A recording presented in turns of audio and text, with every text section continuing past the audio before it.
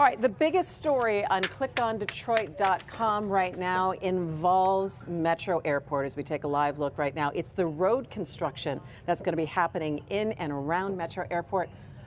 We're going to go to Click on Ken. It's Click on Detroit's Ken Haddad. All right, Ken, this is the biggest trending story right now. Tell me exactly what this project is and, and what's going to be happening.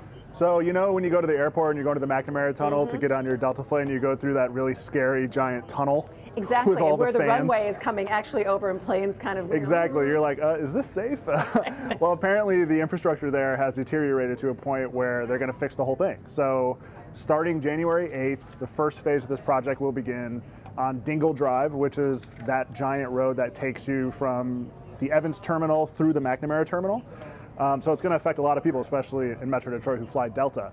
Um, the second phase of the project will start in March, and that will go through next year. And then starting next year, the, the second part of the project goes on. Now, here's the catch. Hmm. It's actually a three-year project. So yeah, I was going to say, I saw that the finish date was 2027, 2027. but I almost did a spit take. yeah, so there's going to be a, there's going to be some traffic headaches there for a while until 2027. The good news is that it's not full closures. It's just uh, you know lane closures, um, rerouting of traffic from north and southbound on Dingell Drive. Mm-hmm. Uh, but at the end of the day, it's going to be crazy there, especially during high volume, you know, traffic, travel times, and all of that stuff. So pack a few more minutes. Yeah, absolutely. All right, so it starts January 8th. Northbound, southbound traffic on Dingell Drive down to two lanes, and we're going to start seeing the phases. Um, I can only imagine the comments in the comment section on Click on Detroit from this story, Ken.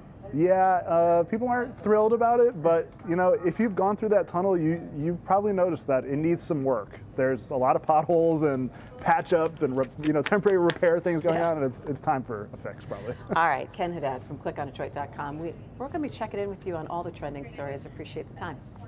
All right, we'll talk to you in a little bit.